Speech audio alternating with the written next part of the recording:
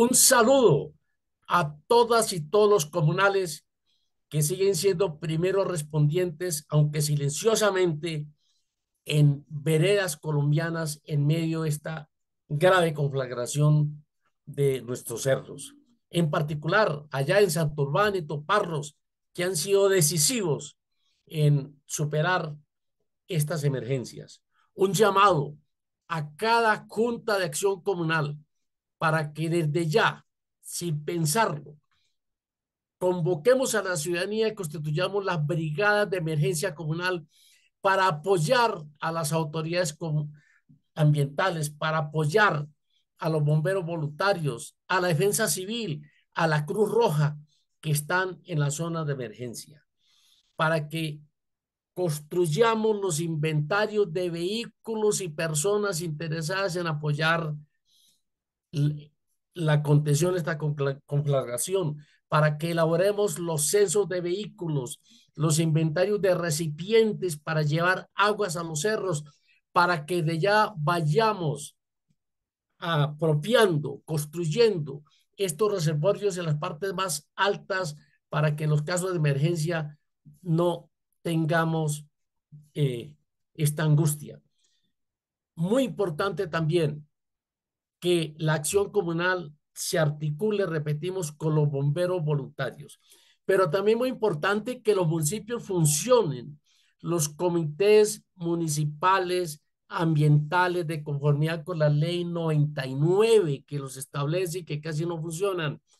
Comités municipales ambientales donde la acción comunal debe tener presencia protagónica y que tiene la gran función de planificar la atención ciudadana a este enorme problema.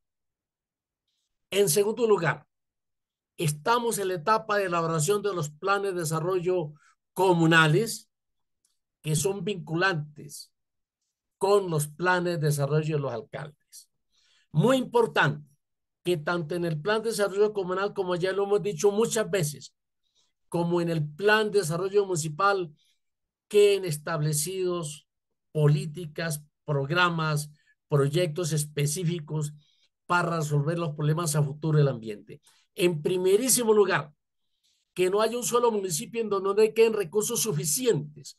Ojalá los recursos de libre inversión para comprar las cuencas de quebradas y ríos que se conviertan en parques nacionales para garantizar el suministro de aguas.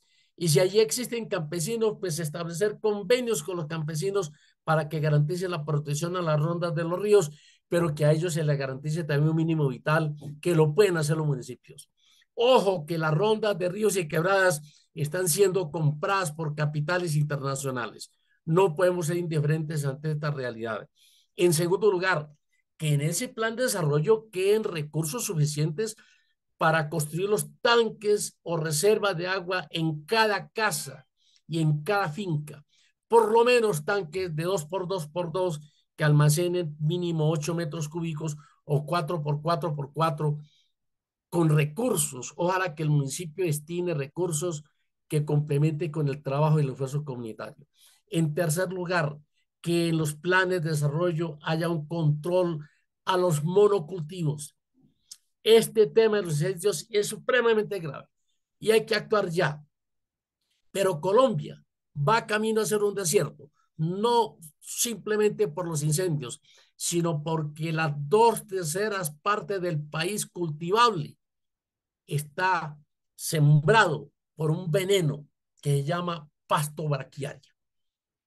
Todos los potreros de la Amazonía, de la Orinoquía, el Piedemonte Llanero, de los valles del Magdalena, de las costas, están llenos de este veneno.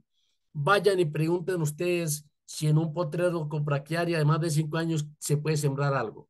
Ya no se produce nada sin el pasto. Pero cuando se acabe este pasto, en 15, 20 años no va a quedar sino arena.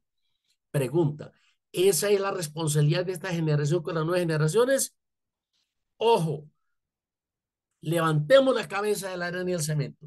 Pensemos en el futuro que debe girar en torno al ambiente. Es la responsabilidad de esta generación con las nuevas generaciones. Y por supuesto que exista un reordenamiento del territorio, que no se siga concentrando el presupuesto de los municipios en habilitar vías y servicios para el urbanismo. Es un horror lo que está pasando en Colombia. Ya cerca del 50% de municipios sin viabilidad a mediano plazo el suministro de agua potable, pero sigue sin control la construcción de vivienda satisfaciendo los intereses de los grandes constructores y el sector bancario.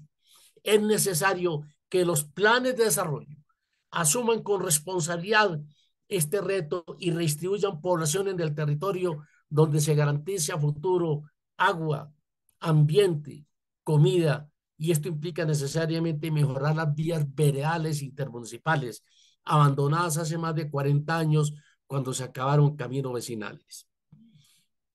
Nadie en Colombia tendrá argumentos suficientes para confrontar y controvertir estas tesis.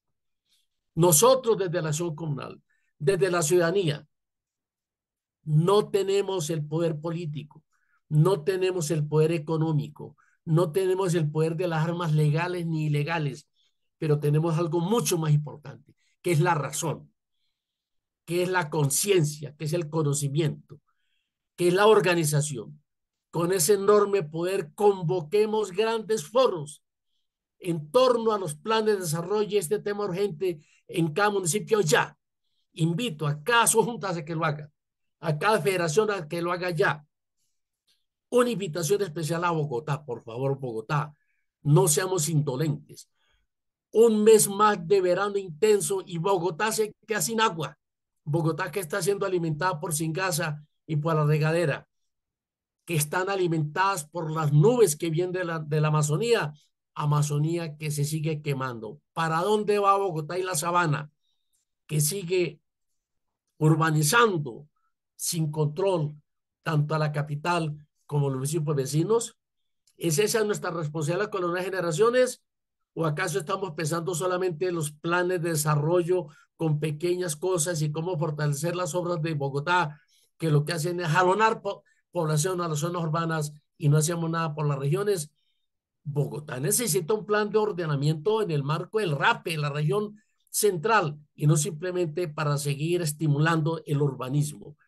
Nuestro gran aliado, la academia, las universidades, el conocimiento, la razón, los ambientalistas.